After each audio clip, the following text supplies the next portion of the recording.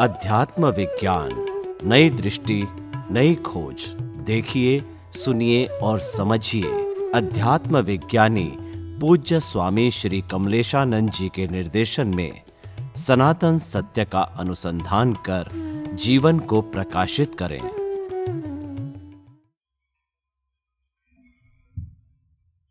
આપણો ઇતિહાસ એવું કહે છે આપણી હિસ્ટ્રી એવું કહે છે કે આ વિશ્વની અંદર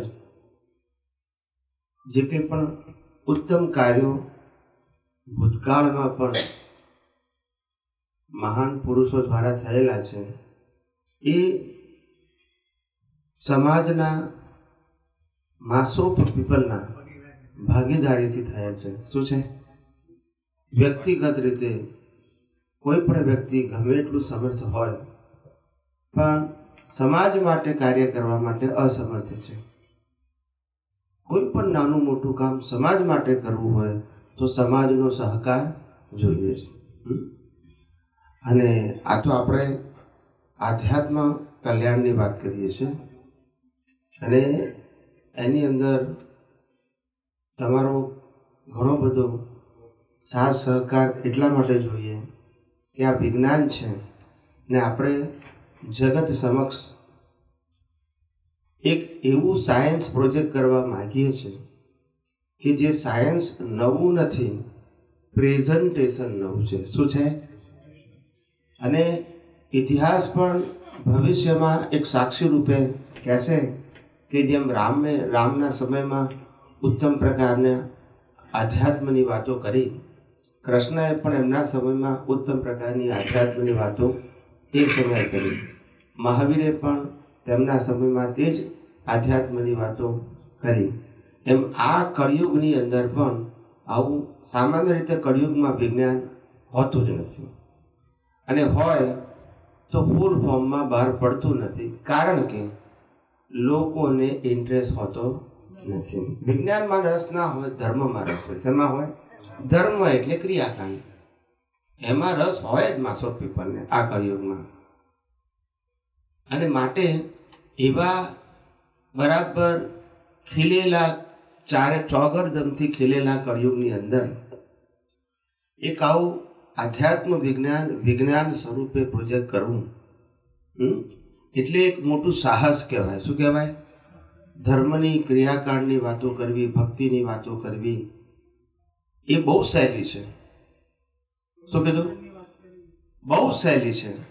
અને લોકોને ઝડપથી એક્સેપ્ટ પણ કરી લે અને એને ફોલો પણ કરી લે. પણ વિજ્ઞાનની વાત કરવી, એ અત્યારનો જે માનવ સમાજ જેને ધર્મ માને છે, જેને પ્રગતિનું સાધન માને છે, એનાથી તદ્દન વિપરીત છે. કેવું છે? કારણ કે આજનો સમાજ ધર્મની બાહ્ય ક્રિયાઓને જ પુરુષાર્થ માનવા ટેવાયેલો છે. અને એના આધારે જ મારી પ્રગતિ થશે, મુક્તિ થશે, ઉદ્વગતિ થશે એવું માનવા ટેવાયેલો છે. એની સામે મન, વચન, કાયા અવસ્થા માત્ર કુદરતી રચના છે અને મન, વચન, કાયા એ માત્ર કર્મ ભોગવવાનું સાધન માત્ર છે. આવું સ્ટેટમેન્ટ માસોક પીપલ માટે કરવું એ શરૂઆતમાં ડાયજેસ્ટ થતા બહુ વાર લાગે. આમાં બુદ્ધિનો પ્રશ્ન નથી. શેનો પ્રશ્ન નથી? કારણ કે તમે જન્મ્યા ત્યારથી અત્યાર સુધી એવા પ્રિપેર કરવામાં આવ્યા છે કે ક્રિયા વગર તો કશું થઈ જ ના શકે. એવા પ્રિપેર કર્યા છે. શું કર્યા છે? એટલે બુદ્ધિશાળીઓની બુદ્ધિ પણ શરૂઆતમાં તો કામ ના કરે. ઇન્ટેલિજન્ટ માણસ હોય, એને પણ કહીએ આપણે કે તું તારા મન વચન કાયથી કંઈ પણ કરવા માટે સ્વતંત્ર નથી, તો એ એક્સેપ્ટ જ ના કરે ઓન ધ સ્પોટ તો. કારણ કે એ રીતે ટેવાયેલા છે. શું છે? એમાં એમનો વાંક પણ નથી. જ્યારથી સમજણા થયા, ત્યારથી મા બાપથી માંડીને ટીચરથી માંડીને પ્રોફેસરથી માંડીને સમાજના લોકો અને મોટા મોટા સાધુ, સંતો, સંન્યાસીઓ અને મોટા મોટા પ્રવચનકારો, આ બધા જ લોકો તમને ક્રિયા કરવાથી જ અથવા ક્રિયાને જ પુરુષાર્થ માનવામાં આવે મનાવડાવવામાં આવે એટલે એમાંથી બહાર નીકળવું આસાન નથી? એટલે આપણે કવિરાજે એકવાર કીધેલું મને બોમ્બેમાં આજથી ત્રણ ચાર વર્ષ પહેલા કે તમે સામા પવને તરો છો. શું કીધું? પવન. આમ આવે છે ને આપણે હોળી આમ લીધી પવનની દિશામાં હોય ને તો સ્પીડ ગતિ મળે. પણ આ વિરોધની દિશા છે. શું છે? બધા લોકો આમ કે છે ને આપણે? એટલે આજથી લગભગ વીસેક વર્ષ પહેલા શરૂઆતમાં મેં વિજ્ઞાન કહેવાની શરૂઆત કરી હતી. અને ત્યારે જ શરૂઆતમાં સંઘર્ષ ઉત્પન્ન થયા હતા. મારા આપતા પુત્રોના પરિવારમાં પણ થયા હતા. મહાત્માઓ વચ્ચે પણ થયા હતા અને નવી વ્યક્તિઓને પણ સ્વીકારવામાં તકલીફ થયેલી. અને એ લોકોને એવું લાગે પણ ખરું કે એકદમ તો આપણે વનવચન કયા કશું ના કરી શકીએ એવું કઈ રીતે સ્વીકારવું આપણે. એના આધારે તો આપણું જીવન છે. પણ ધીમે ધીમે જેમ જેમ આ વાતો વધારે રીતે પ્રેઝન્ટ થવા માંડી, દાખલાઓ સાથે મૂકવા માંડી, સામે સિદ્ધાંત મૂક્યો કે આ કુદરતનો કાનૂન છે, આ કોઈ વ્યક્તિનો કાનૂન કે વ્યક્તિની બનાવેલી પ્રિપેર કરેલી સમજણ નથી. એમ ધીમે ધીમે ધીમે લોકોને લાગ્યું કે વાત આ બરાબર છે. પહેલું તો આ વાત જ હતી નહીં. હવે વાત આવી. પછી આપણને કમ્પેરિઝન થઈ. કે આ બરાબર છે કે આ બરાબર છે. પહેલાં તો કોઈ કરે જ નહીં એટલે કમ્પેરિઝનનો સવાલ નહોતો. પછી ધીમે ધીમે ખ્યાલ આવે કે વાત બરાબર છે. આપણને અનુભવમાં આવે છે કે આપણે સ્વતંત્ર રીતે વિચારી શકતા, બોલી શકતા નથી, વર્તી શકતા નથી. પછી ઘણાને વાર ખ્યાલ આવે કે ભાઈ આપણે સ્પિરિચ્યુઅલ સાયન્સની વાત કરીએ છીએ તો આત્માની વાત કરીએ છીએ. પણ એમાં કોઈ ભગવાન છે? પણ પછી આપણે ડેફિનેશન આપી કે ભગવાન કોઈ દિવસ મનુષ્ય સ્વરૂપે હોઈ શકે નહીં. પણ મનુષ્યની અંદર ભગવાન પ્રગટ થઈ શકે. એટલે ધીમે ધીમે આ વાતો લોકોને સેટ થવા મળે શું થવા મળે સમજાય છે ને? એટલે શરૂઆતની અંદર અમારી પાસે વિઝન પૂર્ણ હોય તોય પણ અમને પ્રેઝન્ટ કરતા તકલીફ પડે કારણ કે સ્વીકારનારો વર્ગ નવ્વાણું ટકાના હોય, શું છે? અને એક ટકા વર્ગ સ્વીકારનારો ના હોય, પણ સાંભળનારો હોય એઝ અ રિસ્પેક્ટ ખ્યાલ આવ્યો? અને આજે એમાંથી આટલું મોટો, આટલી મોટી ક્રાંતિ આવી ને આજે મોટાભાગના સત્સંગકારો, પ્રવચનકારો કે ઉપદેશકો મોટિવેશનવાળા આ બધાને પણ આજે વિજ્ઞાનની વાત કરવી પડે છે. આધ્યાત્મ શબ્દ બોલવો પડે છે. જે પહેલાં ધર્મ શબ્દ બોલતા હતા, એ લોકોએ પણ આધ્યાત્મ બોલવું પડે છે. સમજાય છે? કારણ કે એને ખબર છે કે હવેનો જે મોડર્ન જમાનો છે, એની અંદર યંગ જનરેશન તમને બધી વાતો સૈદ્ધાંતિક પૂછે લોજિકલ હોવી જોઈએ. કેવી હોવી જોઈએ? તમે કોને અમે માનીએ એવું ના હોવું જોઈએ. અમારી બુદ્ધિ લોજિકલ એક્સેપ્ટ કરવી જોઈએ. એટલે આ વિજ્ઞાન પણ એવું છે કે બધાની બુદ્ધિને પણ સમાધાન આપે છે લોજિકલી બ્લાઇન્ડલીની પણ લોજિકલી એટલે અત્યાર સુધી ઘણા બધા પ્રશ્નો આ સ્પિરિચ્યુઅલ સાયન્સ ઉપર પૂછાયા અને બધા જ પ્રશ્નોના જવાબ આ સ્પિરિચ્યુઅલ સાયન્સની અંદર પ્રિન્સિપલી અપાયેલા છે. એક્ઝામ્પલ સાથે. એટલે કોઈને એવું ના લાગે કે આ, આ- વાત આધાર વગરની છે? એટલે ધીમે ધીમે હવે લોકોને ખ્યાલ આવે છે કે આપણે આ બધાએ આપણે સાયન્સ નહીં બોલીએ તો લોકો આપણને વધારે પ્રશ્ન પૂછશે. એ ધીમે ધીમે આ રિવોલ્યુશન છે. શું છે? અને તમે બે પાંચ વર્ષમાં તમે જોઈ શકશો કે બધાએ ઓપનલી બોલવું પડશે. કારણ કે આપણે બધા પાયા એટલા મજબૂત નાખેલા છે. શું નાખેલા છે? અને રિઝલ્ટ આવતા ભલે વાર લાગશે, પણ બહુ મજબૂત છે. મજબૂત એટલા માટે કીધું કે એને કોઈ તોડી શકે નહીં. સ્વીકારી ના શકે એવું બની શકે, પણ બ્રેક ના કરી શકે. એટલા સ્ટ્રોંગ છે. અને વિચારક માણસો જ્યારે આ વસ્તુ સાંભળે છે, ત્યારે એ લોકોને કન્વિન્સ થાય છે. બાકી આપણો ભારતીય સમાજ જે છે, એ તો વ્યક્તિને જ ભગવાન માટે કહેવા ટેવાયેલો છે. સમજાય છે? અને એમાંથી આખી દ્રષ્ટિ બદલવી એ નાની સૂની વાત નથી. સમાજ સમક્ષ કરવી કોઈને પ્રાઇવેટલી કરવી એ જુદી વસ્તુ છે. પણ જ્યારે પબ્લિક સમક્ષ કરવી, જેમ કે આપણા, હવે તો ટીવીમાં એપિસોડ આવે છે આપણા યુટ્યુબ પર તો ઘણા વર્ષોથી આવે જ છે. એટલે હવે બધું પબ્લિક થઈ ગયું. શું થઈ ગયું? અને આજ દિન સુધી કોઈએ કશી આપણને કોઈ ચેલેન્જ કરી નથી? નહીતર આ તો આવડો મોટો સમાજ છે. કોઈ પણ કંઈ પણ કહી શકે? એટલે ધીમે ધીમે આ અધ્યાત્મ વિજ્ઞાન કુદરતી રીતે કુદરતની જ હેલ્પથી એસ્ટાબ્લિશ થઈ રહ્યું છે. શું છે? અને એ જ એક દાદા ભગવાન જે કહેતા હતા કે કળિયુગમાં થોડો સમય સુવર્ણ કાળ આવવાનો છે. એ આ સનાતન સત્યના બીજ ઉપર જ આપે, વ્યવહાર સત્યના બીજ ઉપર ના આવે?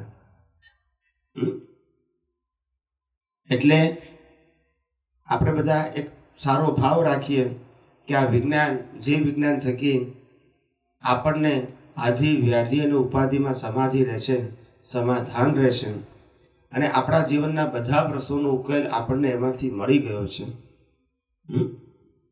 એવું અન્ય જીવોને પણ કેમ મળે? એના માટે આપણાથી થતા બધા પ્રયત્નો કરી છૂટવા. શું કીધું? આ પ્રયત્નની અંદર ખાસ ધ્યાન રાખવાનું છે કે આ સ્પિરિચ્યુઅલ સાયન્સ એ કન્વર્ઝન નથી. શું નથી? કન્વર્ઝન નથી. ખ્યાલ આવ્યો? અહીંયા ગુરુ શિષ્યનો સવાલ, અહીંયા શિષ્ય વધારવાનો સવાલ, અહીંયા ફોલોઅર્સ વધારવાનો સવાલ નથી. લોકો આ સાયન્સથી અવેર થાય સાયન્સને એપ્લાય કરે અને જાતે રિયલાઇઝ કરે. ધેટ ઇઝ ધ કોન્સેપ્ટ સમજાય છે? એટલે એમાં આપણે બધાએ જેટલું પણ થઈ શકે, જે રીતનો એફર્ટ થઈ શકતું હોય, એ બધું કરી છૂટવું. મેં ઘણા બધાને ઇન્ડિયામાં પણ કીધું છે, અમેરિકામાં કીધું છે કે તમારી પાસે જેટલા પણ વોટ્સઅપના ગ્રુપો હોય, એ બધામાં રોજ જે સત્સંગ તમારા ઘરે આવે જ છે વોટ્સઅપ ઉપર, મોકલાઈ દેવાનો ગ્રુપમાં. સો માણસે સો માણસે પહોંચી જશે. એમાંથી પાંચ પણ સાંભળે તો નુકસાન શું છે આપણને? લેવડ દેવડ તો કંઈ કરવા જ નથી. ના જુઓ તો ના જોવે આજે દુનિયાભરની આટલી બધી વસ્તુઓ આપણા વોટ્સઅપના ગ્રુપોમાં આવે છે. આપણે ફરિયાદ કરીએ જ કોઈ દિવસ. ના વાંચવું હોય, ના જુઓ તો ના જોયું રેડ કરી નાખીએ. એવી રીતે મોકલાયા કરો. સોમાંથી પાંચ વ્યક્તિને પણ જો આ સાંભળવાનું મન થશે, સાંભળશે ને, તો એનું જીવન બદલાઈ જશે. મારો કહેવાનો મતલબ એ હતો કે આવી આપણી આટલી બધી તમે એટલું ધ્યાન રાખજો કે તમારી જવાબદારી આ વિજ્ઞાન સમજ્યા પછી બહુ વધી જાય છે? કારણ કે આપણું મિશન છે કે બધા સાયન્ટિસ્ટ બને. ફોલોઅર્સ બનાવવાનું આપણું મિશન નથી. અને એક સાયન્ટિસ્ટ તરીકે તમારા બધાની જવાબદારી વધી જાય છે. કે ક્યાર ઉઠીને કોઈ તમને સાયન્ટિફિકલી ક્વેશ્ચન પૂછે, તો તમને એક્સપ્લેન કરતાં આવડવો જોઈએ. ભલે તમને અનુભવ ના હોય એનો વાંધો નહીં, પણ સમજણ તો હોવી જોઈએ? અને એટલા માટે તમારી જવાબદારી વધી જાય છે કે તમારા જવાબથી પ્રભાવિત થઈ અને આ સાયન્સ તરફ વળે સમજાય છે? તમારો એક જ જવાબ એવો હોય કે જે એના ઘણા બધા પઝલો સોલ્વ કરી નાખે એવો હોય. તો એના કારણે એના જીવનમાં ટર્નિંગ પોઈન્ટ આવે. સમજાય છે? આજે તમે કોઈને એમ કહો કે ભાઈ તમે તમારા જીવનની અંદર સારું કરો છો, ખરાબ કરો છો આ બધું દરેકના જીવનમાં બનતું હોય છે ગુડ એન્ડ હવે એના જીવનમાં પઝલ થાય, સારું તો બધાને ગમે, પણ ખોટું થાય પોતાનાથી અથવા બીજા વ્યક્તિ પોતાની સાથે કરે, એ કોઈને ગમે નહીં. અને એના પઝલ હોય દરેકને પોતાને. આખી લાઈફમાં ઘણી બધી વસ્તુઓ પોતાના દ્વારા બની ગઈ હોય અથવા પોતાની સાથે પણ બની ગઈ હોય. પણ એના પઝલ હોય ને એનું સોલ્યુશન ના મળે. ને આધુનિક કાળમાં લોકોએ સોલ્યુશન ખાલી પ્રાયશ્ચિતનું કે પ્રતિક્રમણનું આપે છે. પણ એનાથી માણસને સમાધાન થતું નથી. એફર્ટ જરૂર કરે છે પ્રાયશ્ચિત કરવાનું કે પ્રતિક્રમણ કરવાનું. પણ એનાથી એને સોલ્યુશન નથી મળતું. એ આપણે બધા પ્રેક્ટિકલ લાઈફમાં જોઈ શકીએ છીએ આપણે. એટલે આનું સોલ્યુશન શું આવે? મારાથી થયેલી ભૂલો અથવા તો મેં બીજા દ્વારા થયેલી, મારી સાથે થયેલી ભૂલો કે જે મારું મન અથવા અહંકાર એક્સેપ્ટ કરતો નથી. નેગેટિવ સંજોગોને. આનું સોલ્યુશન કોઈ વ્યક્તિ આપણી પાસે માગે તો આપણે શું હોવું જોઈએ? કારણ કે આ એક સળગતો પ્રશ્ન છે? ટૂંકમાં આમાં બધા સોશિયલ ક્વેશ્ચન જે છે એનો સમાવેશ, સામાજિક પ્રશ્નોનો સમાવેશ થઈ જાય. ઘણા બધા પ્રકારના સામાજિક પ્રશ્નો હોય કે જેને આપણે પઝલ કહીએ. શું કહીએ છીએ? પઝલ સોશિયલ પઝલ તો આનો જવાબ બિલકુલ સિમ્પલ હોવો જોઈએ આપણી પાસે કે ભાઈ પહેલી વસ્તુ એ કે આ મન વચન કાયા જે છે એ આપણા છે અને આપણે ચલાવીએ છીએ. આનું પહેલાં સાયન્સ સમજવું પડે. કે આ મન વચન કાયા પહેલાં આપણા છે? તો કે આપણા નથી તો કે છે આપણને મળ્યા કઈ રીતે? તો કે કુદરતે આપ્યા. પણ કુદરતે કેમ આપ્યા? તો કે કર્મ ભોગવવા માટે. શેના માટે આપ્યા?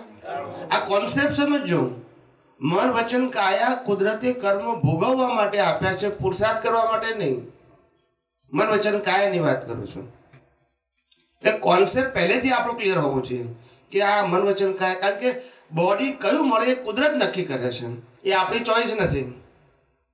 જેવા કર્મ કર્યા હશે એ પ્રમાણે એને અનુકૂળ કર્મ ભોગવવાનું સાધન મનુષ્યનું, પ્રાણીનું, નરગતિનું કે દેવગતિનું કોણ નક્કી કરે છે?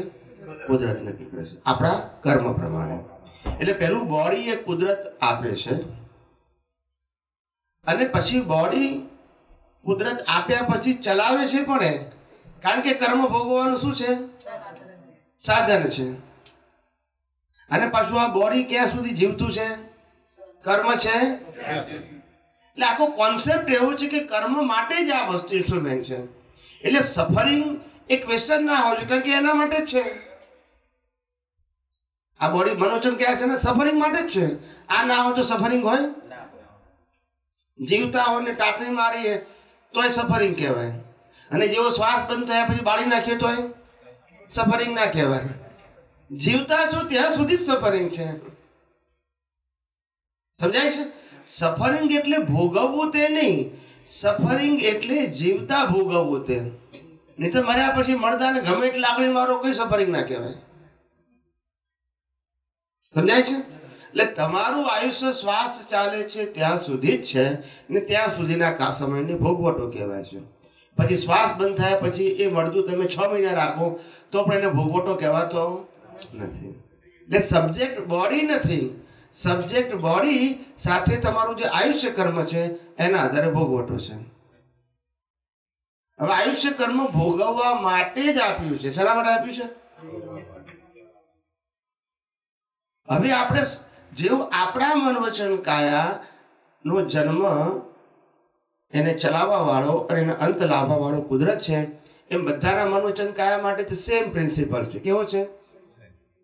એટલે આપણે ખ્યાલ આવો કે કોઈ પણ વ્યક્તિ પાસે વિચાર, વાણી અને વર્તન કરવાની સ્વતંત્રતા કુદરતે આપી અને છતાંય મારાથી ખરાબ થઈ જાય અથવા તો બીજા વ્યક્તિઓ મારા સાથે ખરાબ વર્તન કરે, એ જે માન્યતા છે, એ માન્યતા આજની તો કાલે મારે ડિમોલિશ કરવી પડશે. કારણ કે પઝલ ત્યાં છે. પઝલ ભોગવટામાં નથી, એ કમ્પલસરી પાર્ટ છે. પણ હું ભોગવું છું અને તેમાં સામેવાળી વ્યક્તિ જવાબદાર છે, આ અજ્ઞાન મારે કાઢવું પડશે. અને આ અજ્ઞાન નીકળશે તો સફરિંગ રહેશે, પણ એ સફરિંગ હિસાબ પૂરતું રહેશે. હું ભોગવું છું તેવી માન્યતા સાથે નહીં રહે. અહીંયા માન્યતાનો પ્રશ્ન છે. ભોગવટાનો પ્રશ્ન નથી. સમજાય છે? એટલે આ જે એક્સપ્લેનેશન છે, એ માણસને સનાતન સત્ય ખોળવા પ્રયત્ન કરાવે છે. સમજવા પ્રયત્ન કરાવે છે. એટલે આપણા આન્સર જ એવા હોય કે જેની અંદર કોઈ દ્વંદ ના ખોળી કાઢે. શું ના ખોળી શકે? દ્વંદ ના ખોળી શકે. આપણે એવું બોલીએ કે જેમાં વ્યક્તિ વિશેષ નામ આવે, કે ધર્મ સંપ્રદાયની વાત આવે, તો પછી વ્યક્તિ બીજો ઓપ્શન કાઢી શકે. પણ આપણે એ એ વસ્તુને પુટઅપ જ કરતા નથી કે જેના આધારે કોઈ ઓપ્શનની વાત કરે. એટલે આપણો આન્સર એવો હોવો જોઈએ કે જેમાં પ્યોર સાયન્સ અને સાયન્સના પ્રિન્સિપલ હોવા જોઈએ. જેમાં કોઈ રિલેટિવ સત્યનું પ્રેઝન્ટેશન ના હોવું જોઈએ. લો ઓફ નેચરનું પ્રેઝન્ટેશન હોવું જોઈએ. આપણા આન્સરમાં એટલે એમાંથી વિકલ્પ નહીં ખોળી શકે. શું નહીં ખોળી શકે? વિકલ્પ. અને આ વિકલ્પ ના ખોલવો એ જ નિર્વિકલ્પ દશા. મન બંધ થઈ જાય, બુદ્ધિ બંધ થઈ જાય, શાંત થઈ જાય. એવું આ સાયન્સ છે. એટલે આ સાયન્સ એટલું અદ્ભુત છે. અને આપણને પણ એના માટે અહોભાવ થવો જોઈએ. કે કેમ કરીને લોકોને મળે? આપણે દસમાં, દસને કહીએ, એમાંથી ત્રણ જણ એક્સેપ્ટ કરે, એનો વાંધો નહીં. પણ આપણી કુદરતે આપણી દસ વ્યક્તિને આપવાનો જે સિન્સિયરલી પ્રયત્ન કર્યો, નિસ્વાર્થ ભાવે, એની કુદરતે નોંધ લીધી, તમારા આશયની. શું કીધું? એને એક્સેપ્ટ કર્યું કે ના કર્યું જોવાની જરૂર નથી. આપણો આશય શું હતો? નિસ્વાર્થ ભાવે કે ભાઈ એનું હિત થાય એ હેતુથી આપણે કીધું છે. ખ્યાલ આવી ગયો? આપણા કોઈ ભૌતિક, વ્યક્તિગત સ્વાર્થ માટે આપણે કીધું નથી. એટલે કુદરતના ચોપડે તો તમારું જમા થઈ ગયું. દસે દસ વ્યક્તિનું. પણ ત્રણ વ્યક્તિએ એક્સેપ્ટ કર્યું એટલે લોકોનું જીવન બદલાયું. પણ તમારો આશય તો દસે દસ વ્યક્તિઓને કેમ કરીને આ વિજ્ઞાન સમજી અને અજ્ઞાનમાંથી રોંગ બિલીફમાંથી બહાર નીકળે. એ તમારો આશય દસે દસ માટે હતો. એટલે કુદરતે દસે દસની નોંધ લીધી. સમજાય છે? ને વ્યવહારમાં રિઝલ્ટ ખાલી ત્રણનું આવ્યું. એ ઉદય કર્મ છે. શું છે? સમજાય છે મારી વાત?